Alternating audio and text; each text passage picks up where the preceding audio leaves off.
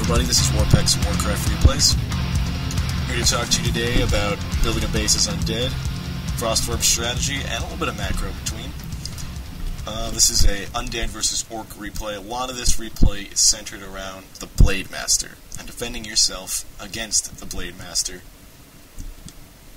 How to do this is by blocking your base off so that, so that Blade Master cannot walk through and even touch your acolytes. So, to get things started here, we're going to watch this replay from Scut's view. And we're going to start this thing off at 10 seconds. So get the replay to 10 seconds. We're not going to do 2 minutes. Most other audios do 2 minutes. We're starting at 10 seconds so we can actually analyze Scut's base. So we can understand what's going on and so I can talk more because I like to talk. Keep this at 1x speed. Turn fog, fog of War off. The reason why we're going on Scut's view is because there's a lot of observer chat and it's kind of annoying. Alright, Scott is a great player from NST. We'll talk a little about him. Plays Undead, of course. He does a great job. He's against Stop from VT. Stop's also very good, and also another audio commentator here at Warcraft Replays. You'll probably get pissed at me for uploading this replay. Probably not one of his better replays, but he's a great player, and actually uh, does not do a bad job in this game. Probably not one of his better games, though. Moving on, uh, this is a replay from the Warcraft Olympics, WCO. Great league, a lot of fun. I run it. Uh, we're not going to really talk too much about that, but um, basically NST won this war against VT. This was the deciding match. Alright, what I want to talk to you first, before we start this replay up, is building buffers.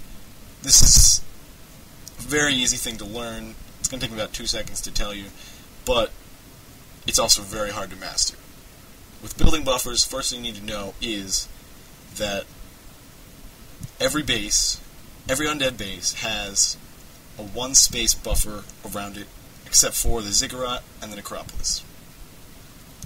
And what I mean by one space buffer around it, when you build any building basically, a Tomb of Relics, when you build a Tomb of Relics, it's going to come right in the package, have a one space buffer around one space around that building. So you build it right next to a ziggurat, which has no spaces around it when you build it. There's going to be one space in between the two, even in, even if you put them right as close as you possibly can. There's still going to be one space in between. So you, you know, it's a very important thing to do. Ziggurats are very important because they don't have any spaces around them. That's how the most important thing in the undead base building to block a base. The most important building. Now, the necropolis is two spaces around it. So it's completely useless for blocking because two spaces means a hero can get through. Two spaces, you need two spaces for a fiend to get through, for an abomination to get through, any medium, large size unit. They need at least two spaces to get through. One space, a ghoul can get through, an acolyte can get through, other small units can get through, archers, whatever. Basically, we, we just want to stop a blade master from getting through. To stop a blade master from getting through, we need to make sure we've got only one space in between buildings surrounding our gold mine anyway. Even in Windwalk form, a Blade Master needs two spaces to get through. Remember that. So, what you make sure you got to do is you don't want to have an altar next to a graveyard. Both of those buildings have that one space built around it. If you put them next to each other, you're going to have two spaces combined. Blade Master's going to walk right through and be like, what the fuck are you doing? Terrible undead, whatever. So that's basically the most important thing to know. However, this is a pain in the ass thing to learn, to master. Easy to learn. Hard as hell to master because every single map, you got to do something. You got to do build a different base. And even in some some of the maps, you have to build a different base just for whichever position you get.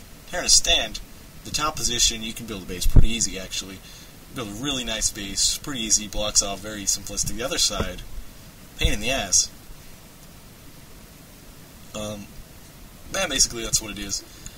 Basically, you need to do something different for every map, so it's very hard and needs a little bit of practice. I suggest loading up a game against the computer on some of your favorite maps, trying a couple things out, messing around a little bit. It's really not as hard as it seems. Build a hero and try to see if you can get through in your gold mine. If your hero can get through, so can a Blade Master. If your hero can't, neither can a Blade Master. So that's what I suggest trying out. We're going to get this this uh, replay started here. So in five seconds, five, four, three, two, one, go. Alright, watch from Scott's view here. Scott's already got the Altar of Darkness up and his Ziggurat up. Two very important abilities. Keeping his altar towards the front, that's alright. Basically what you gotta know, one thing you want to make sure to do with any other building is keep your higher HP buildings towards the front of your base, and keep your lower HP buildings towards the back. Pretty obvious reason, higher HP buildings are better defense than your lower HP buildings, and you want to keep your lower HP buildings alive longer. Scott learns that the hard way in this replay. You're going to see that a little later. He's already started to block his base off a little bit. The Ziggurat's in the perfect position to block his base. He's going to put a Tomb of Relics up right now. Now, as you can see right here, the Tomb of Relics and the Ziggurat together are blocking. They've got that entire left side blocked off. Tomb of Relics, as there's, actually there's no spaces between the Tomb of Relics and the trees except that one space buffer. There's one space between the Ziggurat and the Tomb of Relics. Just built a graveyard. The graveyard's got itself blocked off between itself and the trees. All he's got is that little area to block off between the graveyard and the necropolis. Once he puts a ziggurat up in between that spot, it's going to be blocked, and its entire base is blocked from a Blade Master harass. Congratulations, good job, you did it. Takes a little pre-planning to do, as you see when he put that great ziggurat up, he knew right away what he was going to do, so you can't just half-ass everything. If you half-ass everything, you're probably going to screw things up somehow. So you got to know what you're doing. Um, Scott's actually going to do a very different base build. Uh, he's actually going for a fast tech, which means he's not going to actually put this second zero ziggurat up for a long time. It's going to be until he starts tier 2 until he puts that up. But what he's doing is, he's going to start harassing with his Death Knight. The reason for this is he wants to stop the Orc from creeping a little. He wants to stop the Orc from creeping a little bit. He also wants to stop the Orc from running into his base and killing him while he's weak. The Orc is incredibly weak right now, and you gotta, gotta remember that. Scott just started his tech, and right now he's looking around for the Orc. This is actually a rather hard thing to do to harass and base build at the same time. You gotta make sure you you, you can do this before you actually you know try to do this.